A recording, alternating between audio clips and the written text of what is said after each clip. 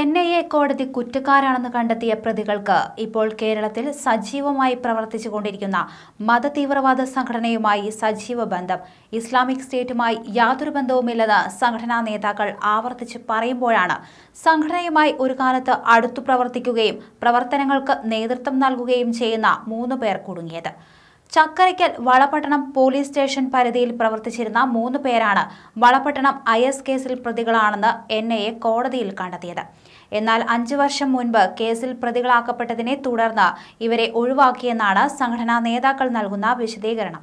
Valapattanam I S കേസിലെ പ്രതികളെ നിയമത്തിന് മുന്നിൽ കൊണ്ടുവന്നത് അന്നത്തെ അന്വേഷണ ഉദ്യോഗസ്ഥനായ പി പി സദാനന്ദന്റെ ശാസ്ത്രീയ അന്വേഷണ മികവാണ് വളപട്ടണം ഐ എസ് റിക്രൂട്ട്മെന്റ് കേസിൽ മൂന്ന് പ്രതികൾ കുറ്റക്കാരാണെന്ന് കോടതി കണ്ടെത്തിയിട്ടുണ്ട്. പ്രതികൾ രാജ്യത്തിനെതിരെ യുദ്ധം ചെയ്യാൻ പദ്ധതിയിട്ടുവെന്നും എറണാകുളം പ്രത്യേക എൻ കോടതി വിധിയിൽ പറയുന്നു. തീവ്രവാദ സംഘടനയിൽ അംഗത്വമെടുക്കൽ തീവ്രവാദ കുറ്റകൃത്യത്തിന് ഗൂഢാലോചന നടത്തി തുടങ്ങിയ കുറ്റങ്ങളും പ്രതികൾ നടത്തിയതായി കോടതി കണ്ടെത്തി. പ്രതികളുടെ ശിക്ഷാവിധി കോടതി വെള്ളിയാഴ്ച പ്രഖ്യാപിക്കും. കണ്ണൂർ സ്വദേശികളായ Chakkarakkal Munderi Mithiraj Valapattanam Chekkikulam K V Abdul Razak Chirakkara U K Hamsa എന്നിവരെയാണ് കുറ്റക്കാരായി കണ്ടെത്തിയത്. ശിക്ഷാ ഇളവ് വേണമെന്നും അഞ്ചു വർഷമായി ജയിലിലാണെന്നും പ്രതികൾ കോടതിയിൽ അറിയിച്ചു. രാജ്യാന്തര ഭീകര സംഘടനയായ ഐ എസിനു വേണ്ടി യുദ്ധം ചെയ്യാൻ വളപട്ടണത്ത് നിന്ന് സിറിയയിലേക്ക് യുവാക്കളെ കടത്താൻ ശ്രമിച്ചുവെന്നാണ് കേസ്. പ്രതികളെ തുർക്കിയിൽ വച്ചാണ് പിടികൂടിയത്. പതിനഞ്ച് പേരാണ് കേസിൽ പ്രതികൾ. ഇവരിൽ ചിലർ മരിച്ചു.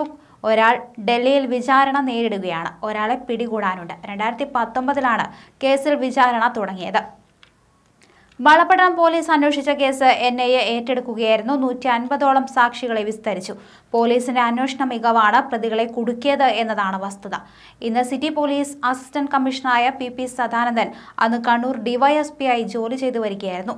സമൂഹ മാധ്യമങ്ങളിൽ ഐ എസ് തീവ്രവാദ ആശയങ്ങൾ ചിലർ പ്രചരിപ്പിക്കുന്നതായും ഇസ്ലാമിക രാജ്യം സ്ഥാപിക്കാൻ ജിഹാദ് നടത്തുന്നതിനു വേണ്ടി ആഹ്വാനം ചെയ്യുന്നതായും ശ്രദ്ധയിൽപ്പെട്ടു. ഇവരെ നിരന്തരം പിന്തുടർന്ന് നടത്തിയ അന്വേഷണമാണ് ഭീകരപ്രവർത്തനത്തിലേർപ്പെട്ട പ്രതികളിലേക്ക് തങ്ങൾ എത്തിച്ചേരാനിടയാക്കിയതെന്ന് പി പി സദാനന്ദൻ പറഞ്ഞു.